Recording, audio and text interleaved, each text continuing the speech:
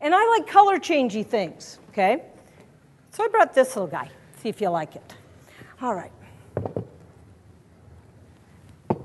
My favorite element's copper. Vanadium's pretty high up on the list, as is titanium. So I've got a little demo. I don't think it's the most beautiful demo, but I think it's pretty darn cool. I've got a solution of ammonium metavanadate, vanadium. Why is vanadium called vanadium? After the Norse goddess of beauty, Vanus. Yes, same root as um, the word to be vain. Hmm.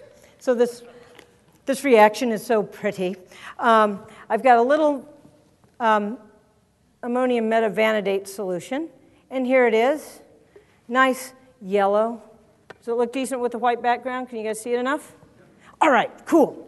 Um, did I do this the right way? Yes, I did. I have the beakers in the right order. Okay, so within the solution right now, you have a vanadium oxygen ion. You can check out your handout if you want, because I'd rather show you things and you can read after the fact. That's why we wrote them all up.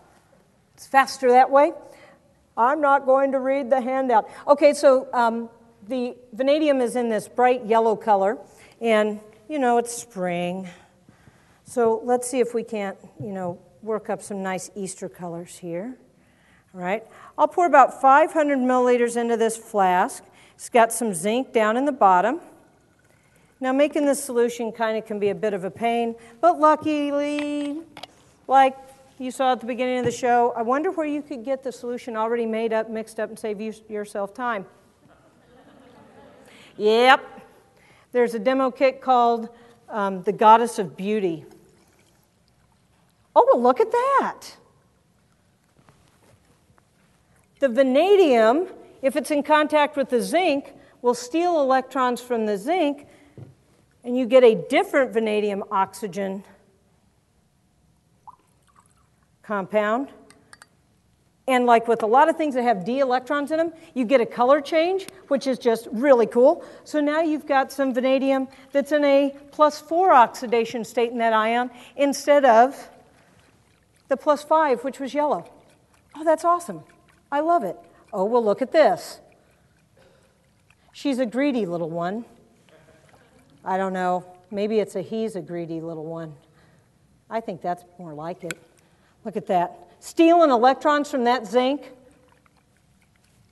I love transition metals. You get all those cool colors. So now, instead of vanadium with a plus 5 oxidation state. Here's a plus 4 oxidation state. This is a plus 2 oxidation state. Oh, it's so awesome. It's kind of Easterish. Okay, now for the difficult part. Was real greedy at the beginning. Okay, now great great demo for redox things. Great demo for, oh, it's grabbing electrons from the zinc. That's nice. Great demo for um, ions that have d electrons. You end up getting these neat colors and you get a change of, of the resonance of those electrons in there. And notice how quickly is this one changing? Not nearly as much. Why? It's not, you know, if you want to use some of the I don't know, giving the human personality traits to the, to the element. It's not nearly as greedy. It's got some of its electrons' needs met.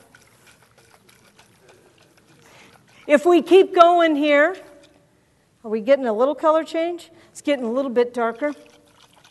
The zinc acts like a catalyst. Of course, it's going to it's going to provide the, the electrons to the vanadium.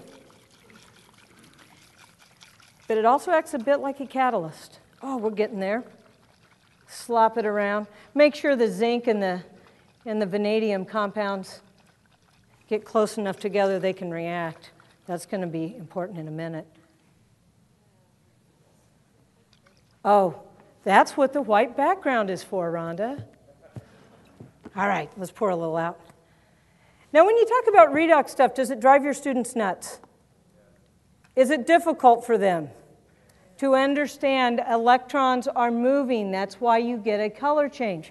Okay, Larry said earlier that I have a group of kids that are kind of important to me.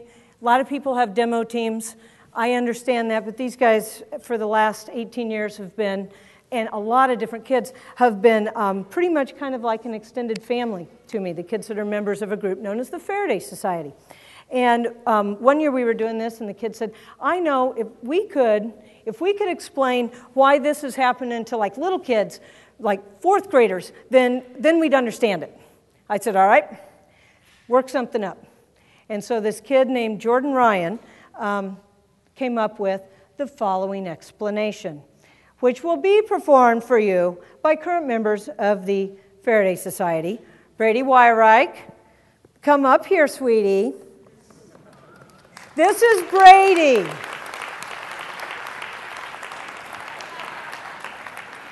Brady is vanadium, not the rest of the oxygen on that ion. He's just representing oxidation state 5. And well, we need somebody to donate some electrons. So um, we have Morgan and Clara, which will be playing the role of zinc.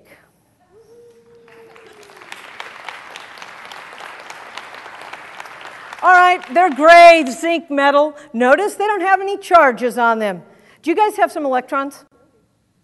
And where do electrons live?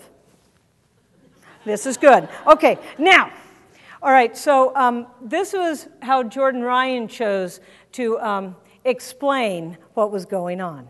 All right. Are you sure? Clara is quite the dancer. All right, and go for it.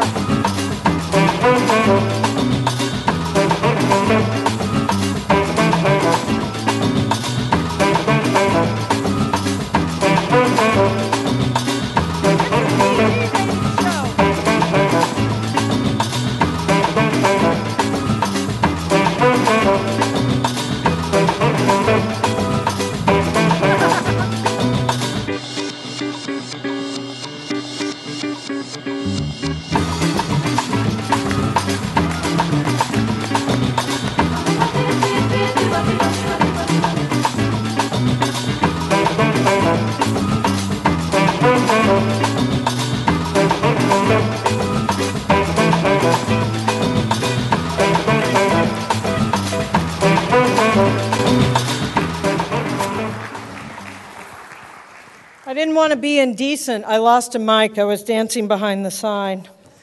So, what do you think? Do you think that would work? So, we, we often call that the vanadium dance or a reduction production in two acts that part and then the kids' part. Anyway, I think that's awesome.